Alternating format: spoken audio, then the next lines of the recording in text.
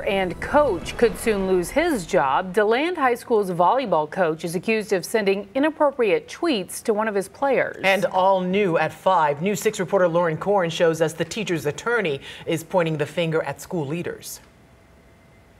The school removed the volleyball coach and social studies teacher after they say he sent inappropriate tweets to one of his players. But his attorney tells us he's married, he's a family man, didn't do anything wrong, and it's the school district that's way out of line. This is certainly not anywhere near the most inappropriate. Attorney Mark Levine defending DeLand High School volleyball coach 29-year-old Stephen Foxworth, seen here on the school's website. He has been a very good employee, has excellent evaluations.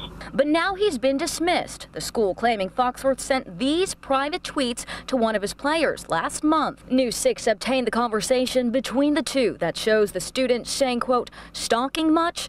Foxworth replying, yes, much, much. Also, Foxworth tweeting, you're more popular and way hotter. And you might not be shredded, but you have a nice booty. Body. Dang. There was nothing sexual about it. When asked about this, he said, look, the young lady is one of my players. She had a bad day at practice, and all I was trying to do was to boost her morale. Students have mixed reactions. He was really nice, actually. So seeing that, like, story come out and people saying it around school is actually quite shocking. Such a good coach, and he's really respectful to us and really nice. Meanwhile, Levine says terminating Foxworth is not the answer. They should have counseling with him and, you know, put some, some stopgaps in place to make sure it didn't happen again. They treated him very disrespectfully. In DeLand, Lauren Korn, News 6.